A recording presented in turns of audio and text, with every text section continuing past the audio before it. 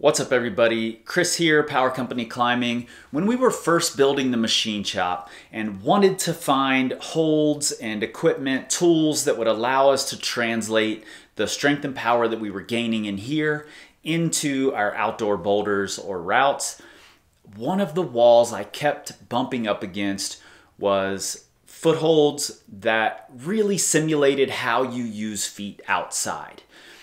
Most of the footholds that you can buy or that are used in a commercial space are pretty large. They're pretty high profile. And it seemed to me that any of the bad feet that I could come up with for a steep wall mostly just meant that they were slopier and slopier, which ultimately you use in an entirely different way than you do a small in cut edge, which we find very often outside. Now, this isn't to say that those sloping footholds are inherently bad. It's great to learn how to apply pressure through those type of feet, but we also need those tiny little edges. So I teamed up with Escape Climbing to come up with a line of footholds that would more accurately represent how we climb outside. We created our line of inductors specifically to force some foot positions that we often find outside that we aren't often finding inside because of the shape of most feet. Now, these are two of our sets. We have four total. These are the sets made for steeper walls, so the Inductor 45 and the Inductor 60. And one of the interesting things you'll see is that we've put these wings on the sides of many of them. And that's specifically so that if you have a foothold on the wall and you're trying to come at it from the side, you can't just edge right on the good part. You're going to have to turn your foot out to get into that good part. Again, something we find outside really often. Now, the 60s are obviously a little bigger, but still going to be challenging on a 45, especially if they're put out to the side and the climber has to come at them from the side and really have to turn the heel out in order to get the toe on the usable part of the foothold. And these are only partial sets. I got a little antsy and had to put a few up on the wall already. So, and each set is going to come with some more basic feet so that you can approach from all sorts of angles, as well as feet that are going to force you to be a little more precise and to put your foot in more interesting positions. All right, let's go put some of these on the wall and talk about how we're going to use them.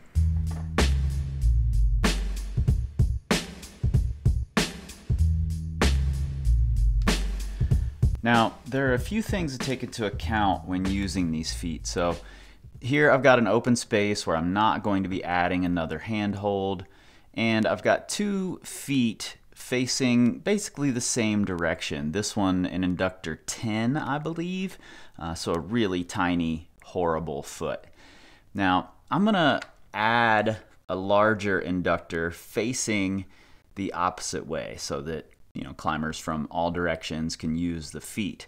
Now, one of the things that you have to keep in mind, sort of first things first, is be really careful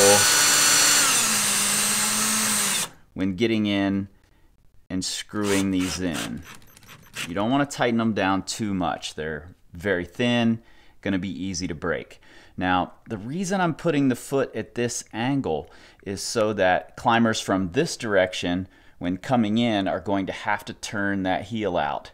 And it's going to be harder to use than this foot where they can just smush their entire foot onto the hold. And climbers from this angle are going to have to be a little more precise due to the wings not allowing you to just slop your foot on. They're going to sort of reduce the the surface area you get on the hold if you just are really sloppy. So you're going to have to turn your heel out just a little bit.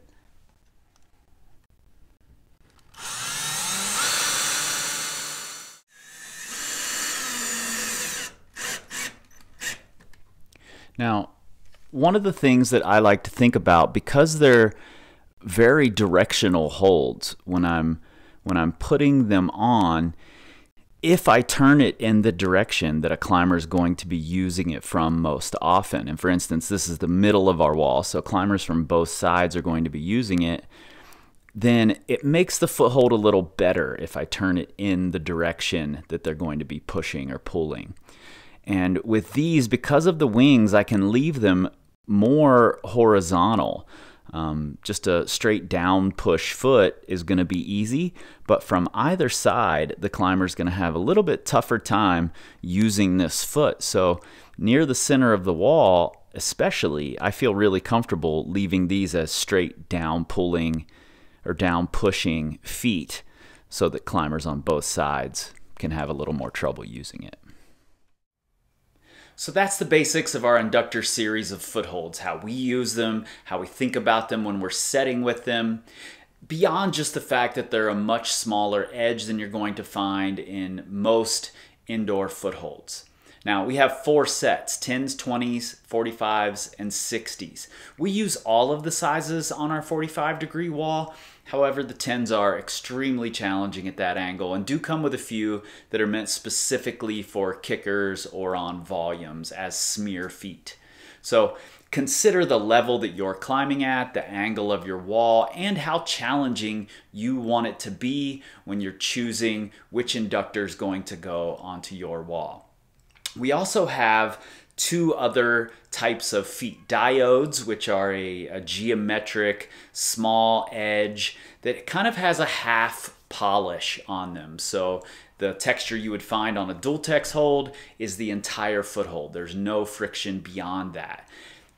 We also have resistors, which are uh, more of a smear type foot and have a full polish, so very slippery.